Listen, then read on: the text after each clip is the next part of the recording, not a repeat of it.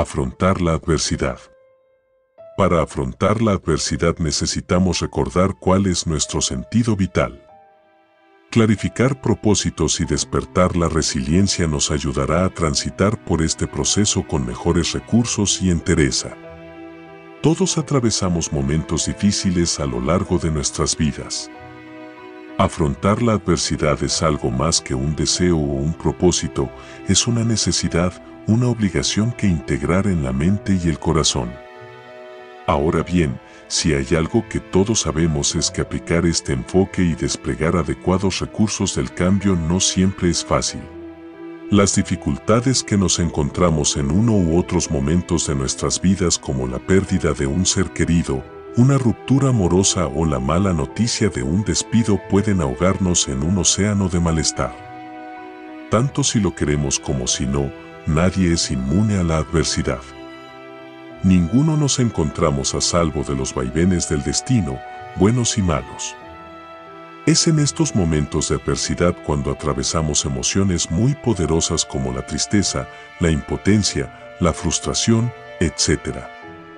Ahora bien, hay un dato interesante que vale la pena tener en cuenta.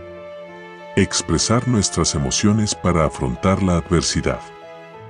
Cuando la adversidad decide golpearnos y experimentamos esas emociones tan poderosas, resulta beneficioso expresar aquello que sentimos. Podemos hacerlo con un familiar o amigo o a través de la escritura para llegar a hacerlo cada vez más consciente y poder desahogar esos nudos emocionales. Si ponemos palabras a cómo nos sentimos, nos será más fácil ir canalizando presiones, miedos, angustias.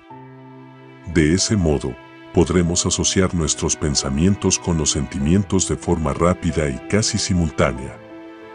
Por eso, cuando nuestras emociones sean demasiado negativas, podemos emplear la escritura como medio para expresarlas, librándonos de ellas sin tener repercusiones exteriores. Incluso si tenemos dificultades a la hora de la escritura, también podemos utilizar otro tipo de actividades como la pintura, el baile, el deporte o el teatro. Todos estos tipos de arte son canales para poder llegar a controlar y elaborar lo que sentimos.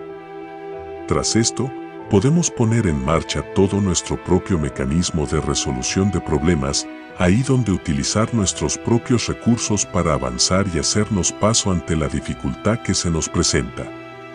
La importancia de reconocer el dolor para afrontar la adversidad. Ante una situación difícil hay veces que nos cuesta aceptar que nos está afectando. Todo ello pone murallas a la hora de afrontar la adversidad.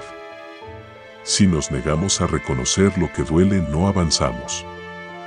De algún modo, estamos obligados a entender que el dolor es parte del proceso de recuperación. Aceptarlo, integrarlo, desmenuzarlo y canalizarlo es parte de todo proceso terapéutico no eres culpable. En estas situaciones, las personas de nuestro alrededor quizás puedan intentar con la mejor de sus intenciones que nos volvamos a sentir bien tan rápido como sea posible. Ahora bien, esto puede tener el efecto contrario. A la hora de afrontar la adversidad las personas solemos arrastrar cierta sensación de culpabilidad y eso es algo de lo que debemos liberarnos. Todos necesitamos nuestro tiempo de asimilación y elaboración, unos más extensos que otros. Lo importante es respetarlo y no acelerarlo o posponerlo, sino manteniendo un cierto equilibrio.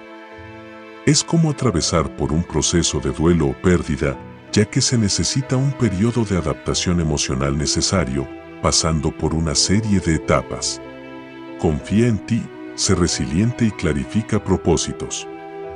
Víctor Frankel nos explicaba en su libro El hombre en busca de sentido que las personas tenemos una gran capacidad para sobreponernos.